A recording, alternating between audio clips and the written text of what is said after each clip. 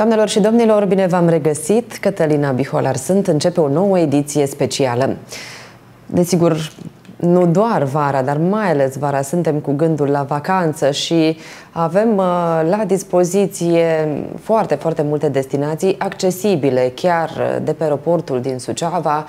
Um, sigur, mulți dintre dumneavoastră preferați să vă luați vacanța pe cont propriu și să mergeți cu mașina. Și pentru asta sunt uh, tot felul de propuneri pe care agențiile de turism ni le fac, una mai tentantă decât alta. Și încercăm să um, anticipăm ce s-ar putea întâmpla um, în concediu mediu și de ce este bine să apelăm la agenții de turism, mai ales în vremuri ca acestea, când aeroporturile sunt uh, supraîncărcate, se vede că există o dorință a oamenilor de a călători, atunci când uh, vămile, de exemplu, spre Bulgaria, uh, poate țară tranzitorie către Grecia sau de ce nu chiar Turcia, sunt și ele foarte aglomerate, mm, în condițiile în care se pierd bagaje, se anulează curse aeriene, uh, în condițiile în care călătoriile sunt mai scumpe, atât cu mașina cât și cu alte mijloace de transport, cazările sunt mai scumpe,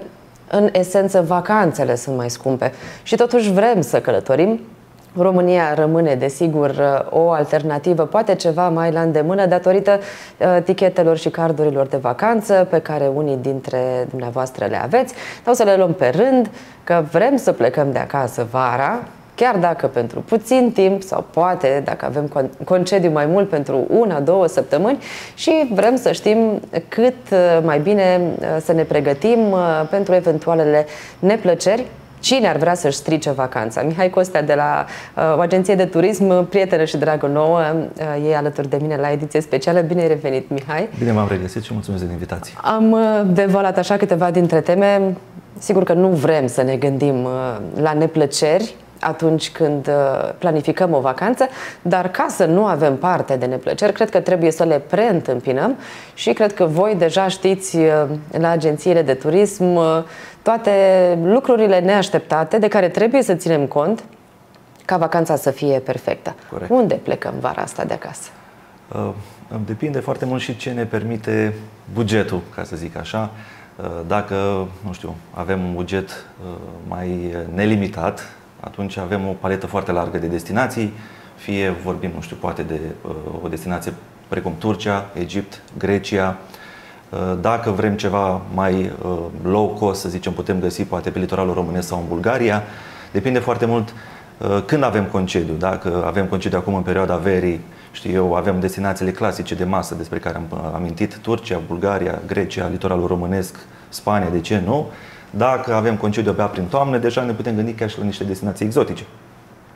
Um, sau la munte, că nu doar marea, dar corect, e sigur corect. că vara e asociată cu soarele, cu plaja, da, cu nisipul, da, da. cu marea, oceanul, de ce nu? Că acum la un zbor distanță putem ajunge oriunde și sunt legături, slavă Domnului, chiar cu plecare de pe aeroportul din Suceava, poți să faci legături la Milano, de exemplu, sau la Londra, către destinații ceva mai îndepărtate. Uh, Egipt. Egipt e o temă despre care s-a tot uh, vorbit de bine de un an de zile de când sunt curse charter către destinații din Egipt. Uh, și de rău în, ultima, în ultimele două săptămâni de când au fost cele două atacuri ale rechinilor, din nefericire chiar o româncă, o suceveancă și-a pierdut viața într-unul dintre aceste atacuri și sigur că um, tocmai pentru ca vacanțele noastre și ale celor dragi să nu fie um, umbrite nu de drame, Doamne ferește, ca aceasta, dar de orice alte neplăceri, cred că ceva facultativ ar trebui să devină obligatoriu, cel puțin în opțiunile noastre atunci când vrem să călătorim. Și mă refer aici la asigurarea de sănătate da. pentru călătorii. Așa este. Și nu doar de sănătate. Și nu doar de sănătate. În general, când îți cumperi o vacanță, trebuie să te gândești la două aspecte. Unu, ce se poate întâmpla până la plecarea în vacanță, deci între momentul rezervării și plecarea în vacanță și sunt fel și fel de situații, de la, știu eu, un vărsat de vânt în cazul copiilor, la un accident rutier sau știu eu, o spargere de locuință, Doamne ferește. Deci pot să apară niște evenimente neprevăzute între momentul rezervării și momentul plecării în călătorie. Și atunci, dintr-un astfel de motiv, nu mai poți pleca în vacanță. Și ai pierdut banii. Și ai pierdut banii. Și într-un astfel de, de caz e bine să ai o asigurare storno, o numim noi, o asigurare care îți permite să recuperezi toate sumele achitate pentru vacanță, în cazul în care intervine un astfel de eveniment neprevăzut. Pe de altă parte, există situația în care pleci în vacanță și acolo, la destinație, intervine un eveniment neprevăzut, poate o problemă medicală. În astfel de ca, într-un astfel de caz e bine la fel să ai o asigurare de călătorie, o asigurare medicală, care îți permite ca în măsura în care ajungi la un spital sau la o clinică privată sau de stat să nu scoți bănuți din buzunar. Sau poți avea nevoie de medic la hotel și recepția avea, exact. îți cheamă uh, da. un medic, vine medicul, te consultă, exact. spune asta pentru că am pățit-o. Uh-huh. Și aveam asigurare, că de obicei am asigurare uh, la călătorii, fie ele și scurte, pentru că nu sunt foarte scumpe. Și Așa o să este. te rog să ne spui și cam ce costuri implică asta. Și recepția a solicitat, a venit medic, era o laringită de la aerul condiționat. Mm. Adică chiar ceva banal relativ, dar poate strica concediu. îți strică concediu pentru că eram lebădă, nu puteam vorbi. Da. Și am, uh, am primit tratament uh, de la medicul respectiv, inclusiv medicamentele necesare și totul a fost în regulă. Când am ajuns înapoi acasă, am uh, întrebat chiar la asigurator dacă s-a făcut de contul pe tratamentul respectiv. Depășea 100 de euro. Uh-huh. Asta e un caz fericit. Sunt situații când... Pentru ceva banal, da? Pentru ceva banal, da, dar sunt situații când sumele pot fi și mult mai mari. Și am avut, noi ca agenție de turism, ne-am confruntat de-a lungul timpului cu fel și fel de situații, cu turiști care au avut probleme și mai grave de atât, cu spitalizare de două, de trei nopți, sume, știu eu, de plată de 2000-3000 de euro la, la spital. Și atunci, având o astfel de asigurare, iată că scapi de grija, că oricum nimeni nu cred că pleacă în, în concediu cu miile de euro după el să le aibă cash și să plătească oriunde e necesar. Și atunci, având această asigurare, automat asiguratorul decontează uh, fie turistul în țară dacă plătește turistul la destinație, fie dacă nu se decontează direct clinica cu, cu asigurator. Și Cât așa costă cum... o astfel de asigurare?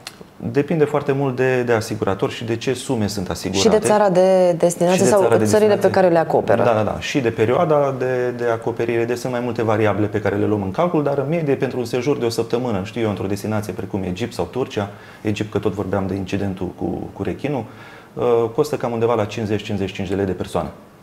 În Europa tarifele sunt chiar mai mici. Chiar mai mici. Pot să fie de la 20-25 de lei până la 30-35 de lei, 40 de lei. Repet, depinde de, de perioadă, de destinație și de suma asigurată. Și ce acoperă această asigurare? Dacă vorbim de asigurarea medicală de călătorie, acoperă orice incident medical, orice problemă medicală de urgență, chiar și probleme stomatologice, dar de urgență. Nu înseamnă că am, știu niște... Mă duc, să, mă duc să-mi tratez sau să-mi pun fațete sau știu eu, orice altceva. Nu. În momentul în care ai o problemă medicală care te supără, ajungi la o clinică sau la un spital sau chem medicul la hotel, această asigurare îți dă posibilitatea să uh, acoperi 100% din suma pentru, pentru cheltuielile medicale respective. În condițiile în care sunt acum uh, foarte frecvente zboruri întârziate, zboruri anulate, din păcate Deocamdată pe Suceava nu știu să fie avut zboruri anulate, întârziate, da, uh, și nu doar la destinațiile de vacanță, ci la cursele de zi cu zi, în condițiile în care se pierd bagaje sau se întârzie bagajele. Uh, te trezești cu bagajul la ușă la întoarcere din sejur, eventual. Um, ce formă de asigurare e bine să își facă cei care vor să călătorească? Da. Aici trebuie avută foarte mare atenție. Sunt asigurări care au inclus această acoperire a pierderii bagajelor. Acum depinde foarte mult ce înseamnă pierderea bagajelor. Dacă nu-l mai recuperezi deloc, atunci asiguratorul te va despăgubi. Dacă el vine cu întârziere după două, trei zile, o săptămână, atunci nu e cazul. Nu e cazul, asiguratorul nu te va despăgubi. Și trebuie văzut foarte clar da, să fie stipulat suma acoperită, pentru că s-ar putea ca tu un bagaj de cală, să ai poate un laptop, o cameră foto foarte scumpă, bagajul se pierde și suma pe, pentru care, nu știu, primești, sau de fapt suma uh, despăgubită să fie mult mai mică da? să primești poate 200 de lei sau 300 de lei pe bagajul pierdut, când poate valoarea din bagaj era de 2000-3000 de lei. Deci trebuie avut foarte mare grijă în momentul în care încheie o asigurare de călătorie să vezi ce sumă este acoperită pentru bagaj. În ceea ce privește biletele, există o politică uh, europeană cel puțin cu privire la uh, faptul că nu poți să urci în avion, nu poți să mergi în călătoria respectivă, indiferent de scopul călătoriei, dacă e din vina operatorului. Ce drepturi au călătorii, pasagerii, atunci când din vina operatorului de zbor sau aeroportului sau din orice altă vină decât că nu s-a prezentat el la porta de îmbarcare, nu poate călători. Da, în momentul în care se întâmplă o astfel de, de situație, directivele europene spun că compania aeriană este obligată să despăgubească turistul, atât să-i ofere uh, banii înapoi pe uh, biletul achiziționat, cât și o despăgubire suplimentară. Uh, Aici poate varia, depinde de companie aeriană. Sunt companii aeriene care sunt mai darnice, cu ghilimele de rigoare, altele mai puțin darnice, din punctul ăsta de vedere. Sigur, noi aici pe, la Suceava avem uh, în special operatori low cost, low cost da, da, da. care da. Nu, nu sunt dintre cei mai darnici. Nu sunt dintre cei mai darnici, au și biletele mai, mai ieftine, nu cu foarte multe facilități uh, extra și atunci, în momentul în care se anulează un zbor, din vina companiei aeriene, uh, directiva europeană spune că acea companie trebuie să-ți dea banii pe bilete înapoi. Sau, nu, te poate duce la o altă cursă? Te poate, te poate reprograma pe altă, pe altă cursă, pe alt aeroport, altă dată de plecare, depinde și ce program ai tu și ce disponibilități au ei. Dar pe o perioadă ca aceasta, luna iulie, luna august, când avioanele sunt mai pline, e foarte complicat pentru că s-ar putea să ai nevoie să pleci astăzi într-o Mai bine e bani și pleci, nu? Da, și pleci cu autocarul sau cu mașina, pentru că s-ar putea ca reprogramare să se facă abia peste o săptămână, când deja poate pentru tine e foarte târziu. Nu mai e concediu. Exact. Uh, spune că sunt uh, foarte pline uh, zborurile în perioada aceasta și sigur sunt destinațiile către țări din Europa și destinațiile nu, sunt, nu mai sunt exotice, la câte mii de persoane au fost deja în Turcia și în Egipt, chiar și cu avionul uh, în ultimii ani. Au fost uh, și curse către Tunisia și Rodos ca destinații de vacanță în anii da. trecuți. Anul acesta doar Egipt și Turcia. Egipt și Turcia sunt da. destinații de charter de pe Suceava, adică pleci uh, astăzi și te întorci peste o săptămână. Exact. Cam asta înseamnă. Da. Nu le-aș pune destinații exotice, niciun fel. Destinații consacrate, hai să le spunem. De vacanță. De vacanță, ultra cunoscute deja printre Nu e prea cald români. acum pentru Turcia și Egipt, uh, iulie? Este cald, dar să știți că căldura de la ei nu e căldura de la noi. Uh, de ce spun asta? Pentru că briza mare, de exemplu, în Egipt este foarte pronunțată. Adică vântul atât de mult încât uh, chiar ai impresia că e chiar bine. În plus, uh, clima este foarte uscată în Egipt. Practic umiditatea aceea de disconfort. Da, da, da, da, da, da. Deci nu curg apele pe tine. La noi, la 35 de grade, stai în casă cu aerul condiționat la maxim. În Egipt, la 35-38 de grade, e chiar plăcut. Și multă lume are uh, falsa impresie că în Egipt la vremea asta ar fi, și cine știe, 50 de grade sau, da, sunt 50 de grade în zonele cu betoane, să zicem în Cairo, dacă mergi să vizitezi, nu știu, piramidele și ajungi și în orașul Cairo, acolo o să resimți într-adevăr temperatura arzătoare, dar pe malul mării e, e ok. La 40 de grade în Turcia sau în Egipt e mult mai ok decât la 35 de grade la noi în Suceava. Ce îi așteaptă pe turiști acolo în pachetele pe care voi le aveți, de exemplu? În afară de rechini. Uh, sperăm că problema aceasta a fost una izolată da, și e... Uh, că autoritățile de acolo au reușit să o... e în primul rând în interesul uh, lor ca țară și ca destinație turistică, evident este și în interesul tuturor celor care își doresc să meargă acolo, dar nu da. cred că i-a descurajat foarte tare pe turiști. Nu, deloc. Noi uh, glumeam acest pentru accident că, nefericit. Da, turiștii care vin în agenție au tendința au de a ne gluma pune, asta macabră, da, de, nu? De a ne pune această glumă, dar cu rechinii ce facem? Trebuie de știut că uh, rechin, dacă e să o luăm așa, grosomodo, găsim cam în orice mare. Acum că sunt mai mult sau mai puțin agresive, altă, altă poveste. Al nostru de Marea Neagră e mai puțin agresiv. Mai puțin agresiv da, și dar înțeleg există. că, da, există o populație destul de mică și înțeleg că uh, nici nu, adică e frică de om până la urmă, nu se da, apropie da, de mare. Da. Și în Egipt, așa cum spuneați, un astfel de caz e unul izolat se întâmplă poate odată la câțiva ani. Un caz anterior s-a întâmplat cu 4-5 ani în urmă prin Sharm el Sheikh. Deci nu sunt situații care să se întâmple zilnic. Cel mai probabil o să mai auziți de un astfel de caz, poate peste alți câțiva ani sau poate chiar deloc. Deci nu mi-aș face griji din punctul ăsta de vedere, mai, mai glumim, deși e o glumă macabră, Uh, astfel de situații se întâmplă extrem de rar. La fel de bine poți să mergi în pădurile Bucovinei să se, nu știu, te întâlnești cu ursul. Și am avut situații, cred că cu un an sau doi în urmă. Asta nu înseamnă că nu mă mai duc în pădure. Da, poți să mergi, știu, oriunde la mare la noi și să te uh, întâlnești, știu, nu știu, poate cu un ariș de mare sau cu Care o altă e vietate. Și acela e, poți să creezi alergii, poți să te înțepi da. în el, poți să ajungi la spital și poți să ai neplăceri foarte mari. Exact. Deci astfel de situații se pot întâmpla în orice sau, destinație. Sau uh, prietenoasele meduze. Exact. Și ele sunt uh, da, da. dăunătoare la exact. contactul cu pielea omului. Da. Și atunci nu m-aș limita ca turist în a mă duce într-o anumită destinație din motivele anterior renunțate, pentru că, repet, sunt cazuri izolate. Ce e de ținut cont e dacă pe Ministerul Afacerilor Externe, de exemplu, apar alerte de călătorie pentru anumite destinații, că sunt, nu știu, posibilități de atentate sau instabilități uh, sociale în țara respectivă. Da, da au da. mai fost, inclusiv pe Egipt. Au fost în da, anii da. trecuți uh, recomandări uh, să nu se facă astfel de călătorii da, în, este, în aceste destinații. Da, la fel și pe Tunisia, la fel și pe Turcia au mai fost astfel de, de alerte, dar nu e cazul acum. Nu e cazul acum. Lucrurile sunt foarte stabile, credem noi, din ce se vede din exterior și din ce ne spun și autoritățile locale și partenerii locali cu care, cu care colaborăm. Așa că, din punctul nostru de vedere, turiștii n-ar trebui să-și facă griji de niciun fel în a călători în destinații, să zicem, charter, cum ar fi Turcia, Egipt, Grecia, de ce nu, da? sau cele cu transport individual, Bulgaria, litoralul Greciei, pe zona continentală sau chiar România. Ce, uh, dacă e totul atât de, de solicitată această destinație, Egipt, dar uh, chiar și Turcia, um, mai sunt locuri?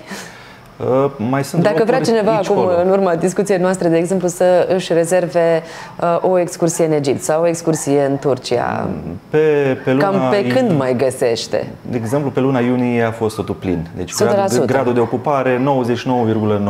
Au mai rămas aici colo câte un loc răzleț. Pe luna iulie, deja gradul de ocupare depășește 90%, mai sunt locuri pe la finalul lunii iulie, pe Turcia, la fel și pe, pe Egipt. În schimb, pe luna august, undeva în prima jumătate cât este postul Sfintei Mării, deci 1-15 august, e cam plin peste tot. Deci mai sunt locuri abia după 15 august. Uh, repet, aici colo se mai găsesc, depinde foarte mult și câte persoane sunt interesate, că dacă sunt două, mm, se mai, se mai găsesc. Dacă e vorba de un grup, 4, poate 5 familii deja e complicat și abia după 15 august uh, i-aș sfătui să-și facă planuri și să rezerve cât mai repede pentru că ca anul ăsta mai rar. Uh, mai, mai rar uh, grad de ocupare pentru că cererea a fost și este în continuare foarte, foarte mare. Um, în acest context, um, Până când vor putea, până când sunt asigurate curse de pe Suceava către Egipt și Turcia? Până când vor putea zbura uh, de aici? Pentru Egipt până la finalul lunii octombrie, deci ultima cursă este în ultima luni din octombrie. Se mai poate face baie mare în octombrie? Foarte, în foarte, foarte lejer, pentru că vremea este foarte bună. Oricum vor fi peste 30 de grade în octombrie. În octombrie, în septembrie-octombrie sunt considerate chiar luni de vârf în Egipt, pentru că temperatura este optimă.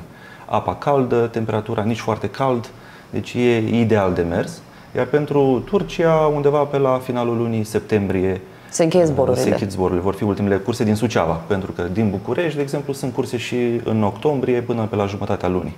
La fel și pentru Egipt, pentru zboruri din București, găsim disponibilități și în luna octombrie, și noiembrie, și decembrie. În Egipt e bine de precizat că e sezon cam tot timpul anului. Ei, așa că nu trebuie neapărat să vă uh, să, să disperați dacă nu găsiți de azi pe mâine un charter către Egipt. Uh, e sezon, cum spunea Mihai, până uh, spre sfârșitul anului, de ce nu? Poate că e chiar mai plăcut uh, toamna, nu? Când toată lumea deja e obișnuită, reîntoarsă la muncă, tu să pleci în concediu. Cum e asta? Dacă ai și tu concediu în perioada respectivă, da. da. Uh, spuneai că vacanțele sunt mai scumpe uh, din mai multe motive, da. nu pentru că le vindeți voi agențiile mai scump. Nu, și nu avem nicio, nicio implicație în, în, în prețul în final. Prețul final. Nu, nu, nu, nu noi ca agenție facem prețul final, Uh, altcineva se ocupă de lucrul ăsta. Ne-am dorit să avem o influență asupra prețului, dar din păcate nu. Hai să vedem din ce e compus prețul unei excursii și cât de scump e prea scump. Că ai început, chiar, chiar la începutul discuției mm-hmm. noastre spuneai că uh, cine își permite uh, și are un buget nelimitat poate merge către destinații exotice. Mm-hmm. În alți ani destinațiile exotice, gen Madeira, de exemplu, erau ceva mai disponibile și pentru cei cu alte bugete decât nelimitate. Da, da. S-au cam schimbat lucrurile. S-au schimbat lucrurile pentru că s-au scumpit toate vacanțele, de la cele care le știam noi că sunt mai, mai ieftine, până la cele care, pe care le cunoșteam ca fiind mai scumpe. Deci prețurile au crescut pentru toate tipurile de vacanțe, fie că vorbim de destinații exotice, fie că vorbim de destinații de masă. Acum, un pachet turistic cu avionul e compus din mai multe uh, servicii. Avem zborul cu avionul, avem transferul aeroport-hotel-aeroport, avem cazarea cu regimul de masă aferent fiecărui hotel în parte și în funcție de ce își alege fiecare turist în parte, plus asistența turistică, acel ghid care preia turiștii de la aeroport, îi duce la hotel, la fel și la returia de la hotel, îi duce la, la aeroport, le asigură asistența pe toată, pe toată perioada sejurului. Deci vorbim deja de patru servicii, patru componente majore. Uh, creșterile de preț ale vacanțelor în general sunt uh, generate de două componente din cele patru, ca să zic așa, și anume de uh, biletele de avion care s-au scumpit foarte mult. Gândiți-vă că combustibilul pentru avioane, kerosenul, s-a scumpit în ultimele luni cu aproape 90%. Deci, practic, un bilet de avion Suceava-Turcia e dublu ca preț. E aproape dublu ca preț. Da? Și atunci, dacă ai o familie cu două sau trei persoane, în componență, e clar că deja prețul vacanței s-a, s-a scumpit poate cu 3-400 de euro, numai din motivul ăsta. În plus, dacă ne raportăm la o destinație cum e Turcia, de exemplu, trebuie știut că inflația în Turcia, în momentul de față, e aproape 70%. Asta înseamnă că la ei costurile pentru hotelieri sunt enorme anul ăsta față de anii anteriori. De la resursă umană, alimente, vă dați seama, un hotel all inclusiv are nevoie de la pâine, legume, carne, etc. Toate lucrurile astea s-au scumpit. Ori hotelierul nu poate pune din buzunar de la el doar bani, ca să aibă hotelul plin să aibă hotelul cu orice plin. preț. Da. Exact. Și din motivul ăsta, scumpindu-se foarte mult uh, toate lucrurile în Turcia, la fel ca și la noi, dar la noi încă e, scumpirile nu sunt atât de mari precum sunt cele din Turcia. Turcia uh, totuși fiind un mare producător de legume și fructe, de e, e adevărat, e adevărat, dar costurile sunt, sunt din ce în ce mai mari și pentru ei ca, ca hoteliere și atunci iată că și din punct de vedere al hotelierului costurile fiind mari, prețul automat pentru turist este mai mare. Cu cât? Cam în mare. În față de anul trecut, o vacanță de o săptămână în Turcia, cât costa anul trecut?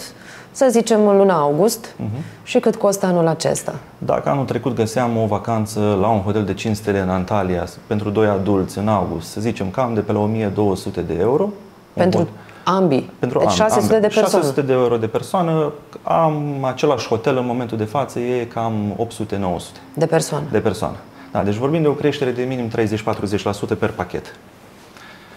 Uh, greu de, de digerat uh, și de către noi, agențiile de turism, pentru că vindem mai greu, dar și de către turiști, vă dați seama, pentru că Uh, mai nu înțeleg de ce, dar anul trecut de ce era mai ieftin. Da, și acum de ce. Iată da, că sunt explicații da. și explicațiile sunt logice și da. au sens. Până la urmă, uh, turismul a redevenit un produs, să zicem, de, de lux. Uh, nu mai e neapărat uh, atât de accesibil, atât de pentru mase, cum era înainte de uh, criza COVID. Chiar și în criza COVID, în 2020-2021, tarifele erau moderate, erau mult mai, mult mai ok din toate punctele de vedere și erau mai accesibile pentru, pentru orice turist. În momentul de Asta față... suprapusă cu criza din Ucraina, criza da, da, da, da, războiului da. din Ucraina, Uh, și toată nesiguranța care vine de aici pentru lanțul de aprovizionare, pentru tot ceea ce înseamnă um, gazele, energia pe care le toate țările le importă da, din da, Rusia, da, da, da, da, se reflectă și în preț. O creștere a prețului petrolului înseamnă de fapt și o creștere a prețului pentru kerosen. În condițiile acestea, sigur că mai sunt alternative, există uh, și alte destinații, destinații de masă, cum le spuneai, nu? Destinațiile din Europa, care sunt accesibile de pe aeroportul din Suceava în foarte multe uh, țări. Uh, putem pleca de aici odată la București, de unde orizonturile sunt uh, nelimitate da. aproape, uh, și direct către Marea Britanie, mai nou Irlanda, Italia, Italia Austria, Germania. Austria, Germania și un Belgia, dacă uh, și Belgia. luăm în calcul Bruxelles. Corect. Da. da. da. Aceste cinci țări uh, sunt accesibile direct uh, de pe Suceava. Cât de indicat, cât de căutate sunt? Sunt uh, extrem de căutate, în special de către cei care, în primul rând, lucrează acolo și noi, ca agenție de turism, le furnizăm, uh, le furnizăm biletele pentru, pentru transport, biletele de avion, dar și în cazul persoanelor care uh, apelează, știu eu, la uh, un pachet de tip City Break. Sunt persoane care nu pot pleca, să zicem, o săptămână, vor să fie totuși Uh, să-și petreacă vacanța undeva, la final de săptămână, pleacă vineri, se întorc duminică sau luni într-o Cum mă întreabă pe mine uh, prietenii din zona virtuală, toată ziua ești în vacanță, cum reușești? Păi așa, plec vineri și mă întorc luni cel târziu sau plec da, joi și mă întorc duminică. Da, da, da, da. E ideal pentru cei care au timpul foarte, foarte comprimat, foarte limitat. Uh, de ce nu? E foarte frumos să mergi în Dublin, da, în Roma, să stai să petreci un weekend în Roma, prețurile nu sunt mari. Uh, am avut uh, surprize plăcute și neplăcute, trebuie să recunosc. Uh, Marea Britanie a devenit, a devenit foarte scumpă, era o țară scumpă, dar da, a da, devenit da. și mai scumpă. Irlanda, în egală măsură, în ultima dată când a fost, nu era atât de scumpă pe cât este acum. Dar după aceste două destinații, ajungând în Italia, ți se pare că deja e totul foarte ieftin. Nu e așa, dar comparând cu celelalte destinații, ți se pare că e foarte ieftin.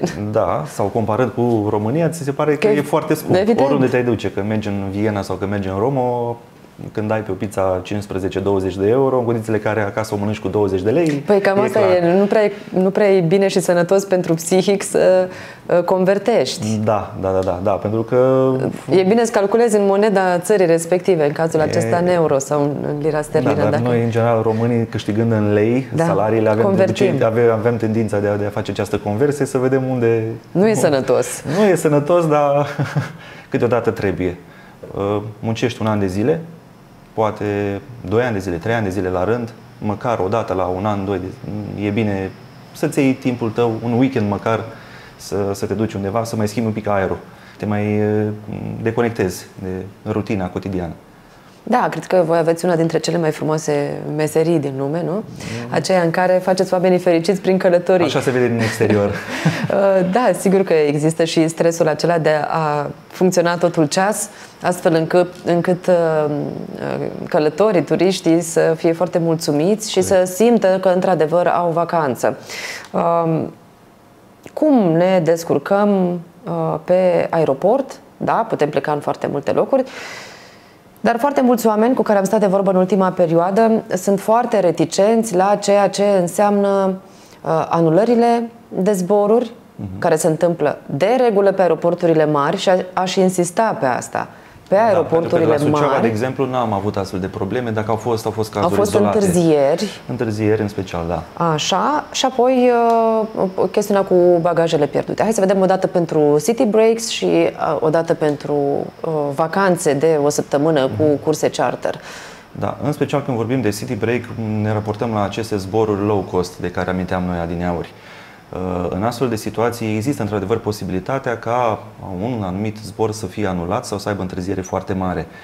Uh, lucrurile astea se întâmplă în multă lume nu știe, dar nu din vina neapărat a companiei aeriene, cât mai degrabă din cauza lipsei de personal, lipsei de personal pe aeroporturi. Se întârzie foarte mult operarea de bagaje și de pasageri, procesarea de bagaje și de, de pasageri. Uh, în pandemie, în 2020, dat fiind faptul că a fost lockdown, foarte multe companii aeriene și aeroporturi au disponibilizat angajați. Zeci de mii, sute de mii, probabil la nivel mondial. Și atunci, uh, nu se justifica la momentul respectiv să ții atât de mulți angajați dacă nu se producea nimic. Pentru oamenii aceia, viața a continuat și au găsit alte sau, surse de venit. Exact, s-au reorientat către alte domenii de activitate, nu s-au mai întors în domeniul turismului sau în domeniul aviației și atunci, uh, anul acesta, uh, lucrurile au, dintr-o dată au explodat. Lumea foarte dornică de călătorii, după 2 ani în care mare parte poate au stat uh, pe acasă, și-au dorit foarte mult să călătorească. Dintr-o dată numărul de pasageri a explodat, cu ghilimele de rigoare. Companiile aeriene și aeroporturile nu au fost pregătite pentru a procesa un număr atât de mare de pasageri angajarea în domeniul aviației și uh, în aeroporturi nu se face ca în orice alt domeniu. E mult mai complicat. E un proces mai nevoios, mai de lungă durată. Trebuie uh, ca persoanele respective să fie școlite în domeniu, să aibă o pregătire, să aibă, dacă vorbim de companie aeriene, să aibă niște ore de zbor la activ. Deci lucrurile astea durează, nu se pot face de azi pe mâine. Și atunci, din cauza lipsei de, de personal pe aeroporturi, uh, procesarea pasagerilor devine din ce în ce mai greoaie, de aici și întârzieri. Heathrow, uh, unul dintre, cred că cel mai mare aeroport din Europa, cred că la momentul de față este cel mai mare aeroport din Europa, a transmis și a cerut companiilor cu care are contract să uh, limiteze pe cât posibil numărul de uh, zboruri și aterizări pe acest uriaș aeroport astfel încât uh, să nu fie procesați mai mult de 100 de mii de pasageri pe zi. Da, da. Uh, pentru, Pentru că, că personal suficient să... Uh, am văzut cu toții poate imagini de acolo um, și la televiziunile străine și cele naționale cu mormane de bagaje apocaliptice chiar uh, uitate aparent uitate, nu, da. pur și simplu depozitate în uh, aeroport ca apoi să ajungă fiecare la proprietarul său, o situație nemai întâlnită da. până acum. Și dacă cel mai mare aeroport din Europa nu face față, da, și care ar, cu siguranță e și mai atractiv și pentru angajări, față de un aeroport micuț cum e cel de la Suceava, vă dați seama ce se întâmplă în alte locuri. E mai e și problema, de exemplu, a grevelor pe aeroporturile mari. Probabil că s-a văzut la în Da, în condițiile în care, sigur, mai puțini oameni trebuie să facă treaba mai multora. Mai multă muncă, banii sunt aceiași pentru săraci angajați și atunci evident că la un moment dat uh, răbufnesc și ei și na, au tot dreptul, conform legii, fac greve. Din motivul ăsta iar se ajung la, la blocaje. La blocaje, da, fie anulări, fie întârzieri. Din fericire, la Suceava noi ne mulțumim că n-am avut astfel de situații de anulări de zboruri nici pe zborurile de vacanță, zborurile charter, nici pe zborurile de linie sau uh, low cost. Dacă au fost anulări, au fost inerente și uh, cazuri izolate, nu, nu e o, să zicem, un obicei cum se întâmplă deja pe aeroporturile mari. În chiar schimba, și la noi în țară. Aeroporturile mari, chiar și la noi în țară. Open, da, da, da, da, sunt fel și fel de, de cazuri când au fost anulări în masă. Uh, la Suceava au fost întârzieri, din aceleași motive, pentru că Trebuie știut că aceste companii aeriene nu operează doar Suceava și un alt oraș. Sunt, Sunt autobuze nu? exact, cu aripi. Da, da, care fac transferuri între diferite orașe din Europa și din uh, Africa, de exemplu, dacă vorbim de Egipt. Și atunci, un avion care ajunge la Suceava, probabil că în ziua respectivă a trecut și prin Hurghada, a trecut și prin Antalya, poate s-a dus și pe la Roma sau mai știu eu pe și unde. dacă a avut întârziere undeva, se duce în lanț. în lanț întârzierea este în lanț. Dacă a plecat cu o întârziere de 15 minute dimineața la prima, la prima oră, până seara poate să fie o întârziere de 2 ore sau de 3 ore. Din fericire, la Suceava n-am avut o întârziere mai mare de 3 ore până în momentul de față, 2 ore și ceva, nici 3 ore. Și a fost una singură, în rest, întârzierile, cel puțin pe cursele charter, au fost de până la o oră. Noi suntem mulțumiți pentru, repet, pentru că... În condițiile date. În condițiile date și uitându-ne la alte, la alte situații de pe alte aeroporturi, e, e foarte bine așa. Nici pentru destinațiile de city break sau poate pentru cei care lucrează în altă țară și vin în vacanță acasă sau își aduc familia în țara de reședință și există curse de pe Suceava, nu au fost anulări, în schimb au fost overbookings. Companiile au vândut mai multe bilete decât au locuri pe scaun. Da, e o practică până acum ceva nu se știa de ea, pentru că probabil că nu era atât de practicată. Dar acum că sunt avioanele pline, da. cel puțin Londra, care e o cursă de zi cu zi, în fiecare zi ai cursă la Londra, să fie plin avionul în fiecare zi, mai rar așa ceva. Da, da, da. Uh, și chiar și așa, companiile vând uh, bilete în picioare, să zicem. Nu e cazul, că nu călătorește nimeni nu în picioare. Nu călătorește nimeni în picioare, da. E o practică a overbooking-ului, asupra rezervării în, în română. E o practică veche, în general folosită de către hoteluri. Hotelurile ce fac? Rezervă de regulă, acum în ultimii ani mai puțin, dar rezervau mai multe camere decât aveau. De ce? Pentru că din experiența lor, unii renunțau pe parcurs și atunci ca să nu rămână cu camerele goale, rezervau mai mult. Bun, aici găsești o soluție totuși, nu? Hotelierii se știu între ei, mai am overbooking pe asta, la... da, da. primește două familii. Sau... Da, și în astfel de situații turiștii de obicei sunt foarte mulțumiți. De ce? Pentru că primesc lege, condiții mai bune. Legea spune că varianta alternativă oferită de hotelul care a făcut overbooking trebuie să fie o variantă superioară sau cel puțin la același nivel. Dar de regulă hotelurile, ca să împace turiștii, le oferă o variantă mult superioară să nu aibă recenzii negative, să nu aibă Exact. Și turistul plătește un hotel, să zicem, de 4 stele și merge și stă o săptămână la 5 stele la condiții mult mai bune. E, practic asta a fost cumva preluată și de către companiile aeriene, în special de cele low cost. Doar că ce alternativă îți dau? Te duc pe alt aeroport cu autobuzul, uh, te plimbă noaptea uh, sau... Da, sau ridică din numeri și îți oferă varianta banilor înapoi și cam asta e, e tot. Uh, N-aș vrea să dau nume, dar există o astfel de companie care, aeriană care practică și în România uh, tipul ăsta de overbooking. Din câte am înțeles și ANPC-ul uh, face o cercetare în sensul ăsta. E o practică, să zicem, incorrectă, incorrectă imorală față de, față de pasageri. Dar știți cum e, fiecare își gestionează afacerea așa cum Există totuși uh, și, să zicem, un plan B ca să eviți situația asta atunci când îți cumperi biletele de avion individual sau prin agenție, să fie rezervat și locul Loc pe și care să-ți faci stai. check-in-ul în avans. Să-ți faci check-in-ul înainte. Da. În felul ăsta știi sigur că te vei urca. Să nu aștepți, că nu e mai ieftin sau mai scump dacă faci lucrurile astea la aeroport. Uh, Dacă faci lucrurile astea la aeroport, e chiar mai E scump. chiar mai scump. E chiar mai scump, da. Sunt persoane, gândiți-vă că sunt persoane, nu știu, poate în vârstă, care nu, uh, nu știu, un nepot i-a uh, rezervat biletul, nu s-a ocupat până Să-i la capăt. rezerve bi- și nu locul i-a și să-i rezervat facă și, loc și nu i-a check-in-ul. făcut nici check-in-ul și atunci persoana respectivă ajunge la aeroport și își face check-in-ul acolo, plătind. Nu e neapărat problema de cost, dar iată că, în general, persoanele aflate în situații de overbooking sunt cele care nu au check-in-ul sau nu au loc selectat din avans. Și atunci, da, într-adevăr, Da, locul sfatul- selectat din avans costă, pe lângă adevărat. prețul Dar- biletului. dar mai puțin decât dar costă ar- mai puțin dis- decât disconfortul respectiv. Exact, și decât ar fi să-ți faci check-in-ul pe, pe aeroport. Tot timpul costurile pentru operațiunile făcute pe aeroport sunt mai mari decât cele pe care Le le, poți faci face de singur, acasă. Da, chiar și cu un, uh, un extra cost. Și atunci sfatul pentru cei care își rezervă bilete de avion, în special cele low cost, este să-și aleagă loc în avion din start și să-și facă check-in-ul acolo unde se poate. În felul acesta, compania știe că tu vei zbura și uh, Știi că te prezinți, că vii, exact, Da. și nu-ți vinde încă o dată locul. Scaunul tău Da, da. e rezervat, nu mai poate fi ocupat de alt, altcineva. exact. Am aflat cum, uh, cum ne descurcăm uh, să scăpăm de uh, emoțiile acestea, ale situațiilor neprevăzute cu care ne-am putea Trăim niște vremuri confrunta. ciudate, vrem, nu vrem, sunt niște vremuri tulburi. Dar omul e o ființă adaptabilă Corect. și care ce n-ar face pentru o vacanță liniștită, nu? Își ia toate măsurile uh, pe cât posibil. Dacă nu- cineva nu are chef, pur și simplu, să aibă aceste bătăi de cap, apelează la Mihai că uh, În situații sau în vremuri de genul acesta, cu atât mai important e rolul agenților de Nu? turism, pentru că o parte din toată Toate responsabilitatea, greutățile toate astea sunt greutățile pe- sunt pe umerii noștri și atunci clientul care reze- rezervă de la noi știe că are unde apela, știe că are cu cine are pe se cine să sfătui, certe noaptea, are nu? cu că cine oamenii să certe sunt noaptea supărați. dacă e, e o problemă, da. Și noi suntem cei care răspundem în fața turistului și m, pe bună dreptate, că de-aia suntem intermediari și atunci trebuie să ne asumăm responsabilitatea asta. Acasă, la noi în țară, mai vrem să fim turiști?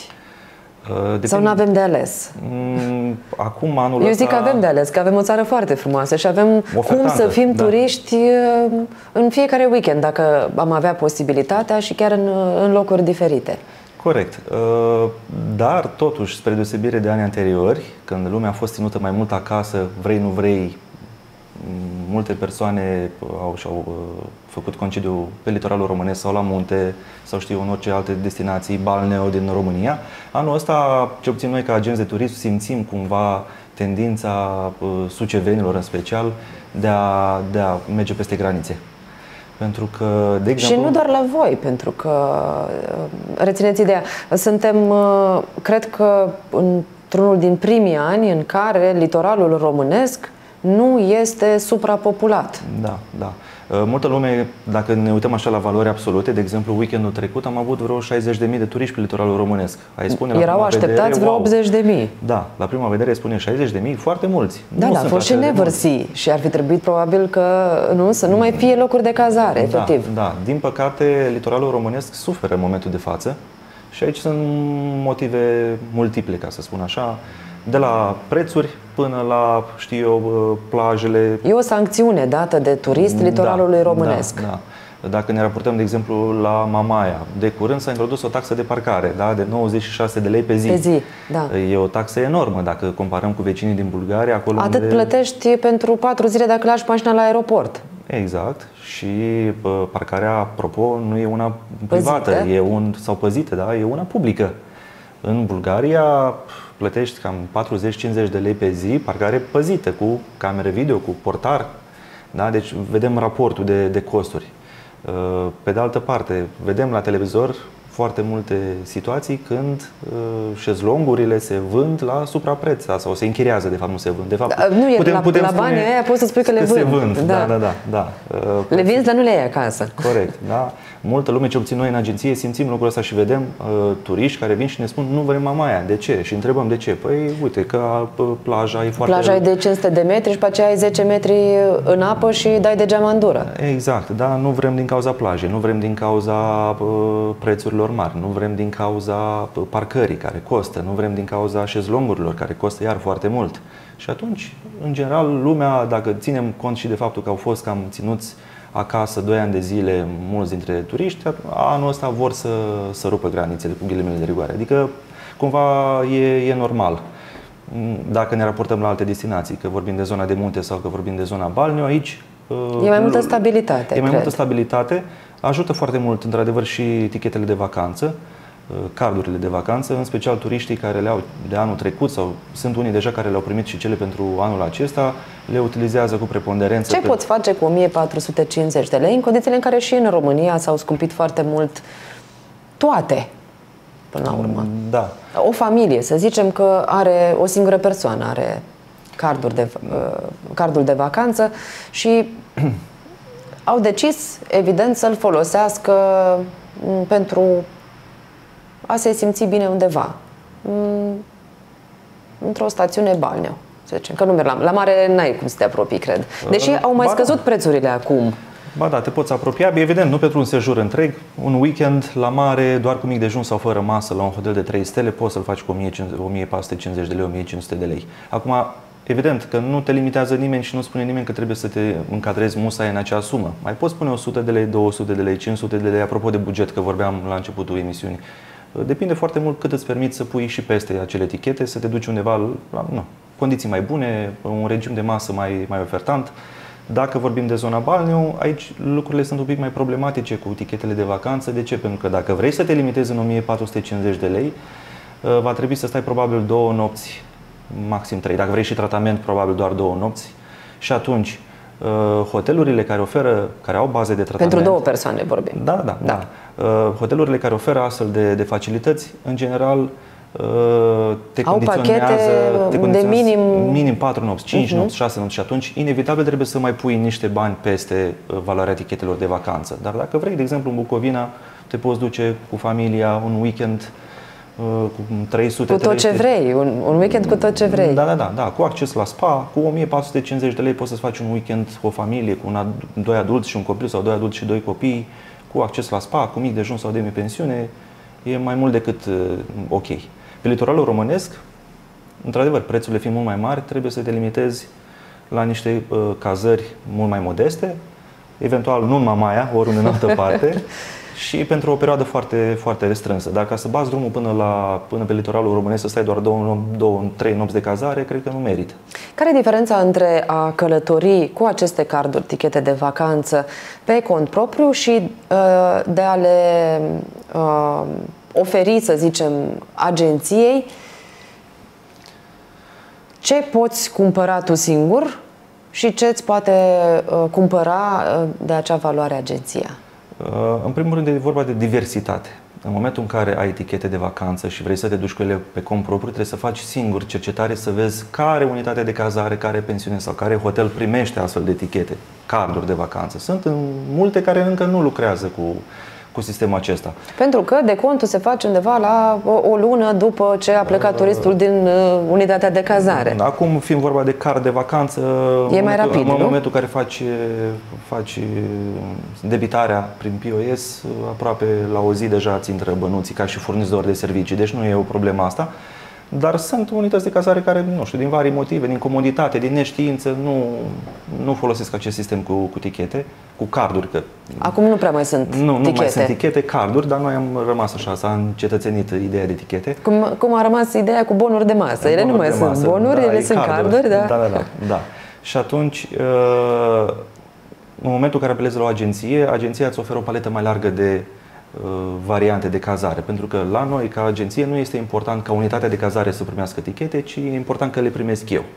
Eu mai departe plătesc către unitatea de cazare în lei, în da. lei da, sau prin transfer bancar, dar eu încasez contravaloarea serviciilor de la emitentul de card de vacanță. Și atunci turistul, dacă vine la mine, are o paletă mai largă. El trebuie să facă, să piardă timp, să facă cercetare, să vadă cine primește, cine nu primește.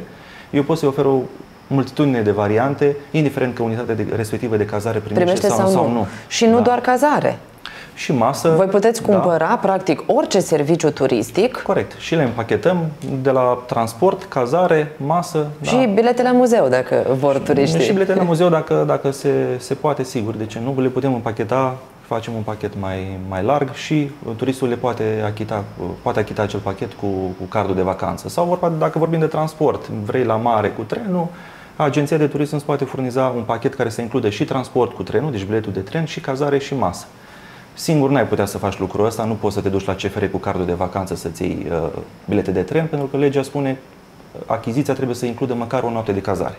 Noi, ca agenție, putând să facem aceste pachete, atunci la noi e, e mai Și asta ofertant. e foarte important. Adică dacă sunt oameni care uh, vor uh, doar să mănânce la restaurantul unui hotel care primește carduri de vacanță, fără să aibă o noapte de cazare acolo, nu e posibil. Nu e conform legii. Acum că alte unități de cazare Găsesc, uh, uh, găsesc o portiță și fac astfel de mișmașuri, e contrar legii, e strict problema lor și își asumă. Dar legea spune foarte clar că nu ai voie să cumperi sau să vinzi servicii uh, pe etichete de vacanță decât doar dacă acolo este inclusă și un minim o noapte de cazare. Deci trebuie să fie și serviciu de cazare.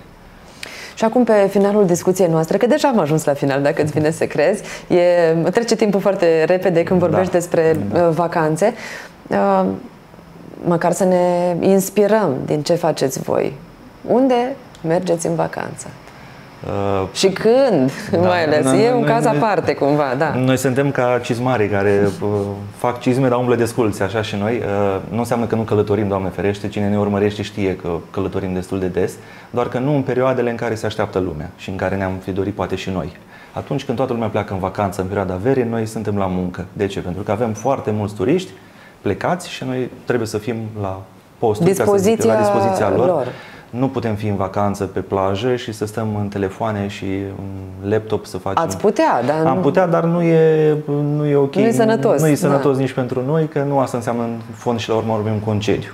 Și atunci noi întotdeauna plecăm în toamnă în concediu, începând cu luna septembrie, octombrie, când lucrurile deja se mai, uh, se mai domolesc. Volumul de, de vânzări e mai mic, volumul de turiști care pleacă, vin, e la fel mai mic și în lunile acestea două, la fel și în perioada primăverii, în lunile aprilie, mai mai putem pleca, dar în perioada verii rămânem acasă. Deci următorul concediu la noi o să fie abia în toamnă, în octombrie, până atunci mai, mai avem de așteptat. Până atunci nu, nu aveți deloc de așteptat, că aveți foarte multă treabă. Aveți uh, uh, turiștii de, de care să aveți grijă, uh, astfel încât vacanțele celor care călătorim cu agenția pe care uh, Mihai Costea o reprezintă să fie fără incidente și să fie concedii în adevăratul sens al uh, cuvântului. Da. Ce aș Mihai- vrea să precizez pe final, dacă îmi dai Da. voie, uh, discuția noastră, cum o văd eu din punctul meu de vedere, nu vreau cumva să lumea să creadă că îi speriem sau că uh, le transmitem, uh, știu eu, informații despre bagaje uitate, despre... Nu, dimpotrivă, uh, încercăm să le arătăm că prezentăm sunt soluții. realitatea Și întotdeauna există soluții, da, și de aceea e bine să nu se lase uh, influențați, Descurajați, descurajați da. de a călători, tocmai din aceste Și până la motive. urmă, ce o să mai po- povestești prietenilor când te întorci? Dacă nu-ți pierzi un bagaj măcar o dată, nu? Și da, dacă nu, corect. avem o, o poveste simpatică pe care o poveste simpatică. Până la urmă a fost o experiență uh, pe care o povestește o suceveancă care uh, s-a întors uh, prin Paris, a avut o aterizare forțată cu o companie nu low cost, cu o companie de linie celebră, Air France, uh, care a rămas fără uh, bagaje 10 zile, care a purtat în Maroc o rochie de in cu care venise de acasă, uh, care a fost nevoită să-și cumpere mm, obiecte vestimentare de strictă necesitate de pe acolo uh, și care s-a reîntâlnit cu bagajele sale după vreo 10 zile. Uh, Dar e o vacanță pe care nu va uita Nu va probabil uita niciodată. Adică vacanțele uh, trebuie să fie memorabile și Exact, din toate punctele de vedere. dacă și asta e să se... Bine că n-a fost mai mult și Corect. că s-au întors în uh, siguranță. Mulțumesc încă o dată, Mihai. Și eu mulțumesc. Să aveți parte de un sezon uh, fără incidente, în primul și în primul rând. Doamne ajută. Doar cu turiști mulțumiți. Uh, Turiști mulțumiți înseamnă oameni care se întorc cu altă energie, care sunt mult mai uh, uh, bine dispuși, uh, care fac lumea mai frumoasă. Pentru că, până la urmă, e o experiență, nu? Citeam undeva la un moment dat că cea mai frumoasă uh, modalitate de a cheltui banii e prin călătorii. Cu atât, ne, cu atât rămânem în viață. Mulțumesc încă o dată. Și eu mulțumesc. Mihai Costea a fost invitatul meu la ediție specială. Îl găsiți online, aflați și care e agenția de turism pe care o reprezintă și uh, vă asigur că uh, poate contribui la vacanțe de neuitat în ciuda uh, tuturor uh, neclarităților sau a situațiilor neprevăzute cu care ne putem uh, întâlni, uh, sunt soluții. Asta e ideea cu care e bine să rămâneți după această ediție specială. Vă mulțumesc că ne-ați urmărit. Cătălina Biholar sunt cu bine.